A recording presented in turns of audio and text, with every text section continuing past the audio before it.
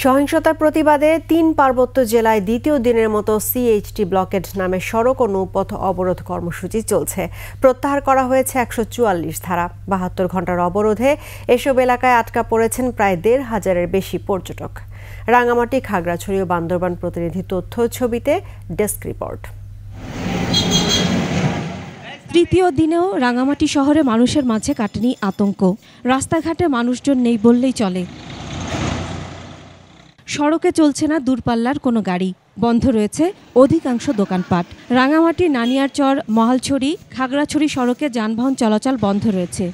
গাড়িতে যাইতে পারি না হুন্ডায় যাইতে হয় অনেক রিক্সের উপরে আর অতিরিক্ত পয়সা দিয়ে যাইতে হয় আমাদের। পাহাড়ের যে শুক্রবার থেকেই আমাদের যে আমরা এখন আতঙ্কের ভিতরে আছি। এই রাত্রেবেলায় যদি কিছু গুজব চুরানো হয় এটা মানুষের মধ্যে খুব আতঙ্কের সৃষ্টি হয়। বাহাত্তর ঘণ্টার সড়ক ও নৌপথ অবরোধের ফলে আটকা পড়েছেন প্রায় দেড় হাজার পর্যটক। বাড়ি ফিরতে না পারায় দুর্ভোগে তারা।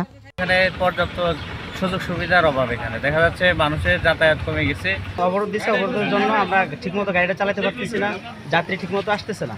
এদিকে জেলায় একশো চুয়াল্লিশ ধারা প্রত্যাহার করা হলে সকালে শহরের বনরূপায় ক্ষতিগ্রস্ত এলাকা পরিদর্শন করেন Rangamati region commander brigadier general Mohammad Shawkat Osman, জেলা প্রশাসক, পুলিশ সুপার সহ ঊর্ধ্বতন কর্মকর্তারা। ক্ষয়ক্ষতি পরিমাণ নিরূপণের জন্য আমরা একটা কমিটিও করে দিয়েছি, জেলা কোর কমিটি থেকে।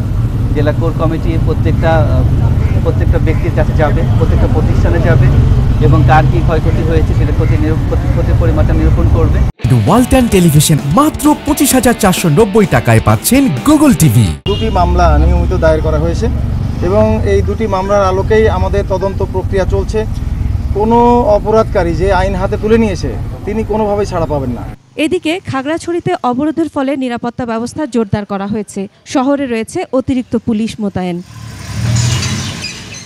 বান্দরবানে পরিস্থিতি স্বাভাবিক রয়েছে।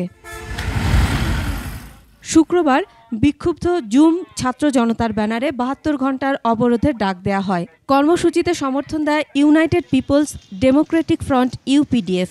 নতুন করে আর সহিংসতার ঘটনা না ঘটলেও পাহাড়ে এখনও থমথমে অবস্থা বিরাজ করছে।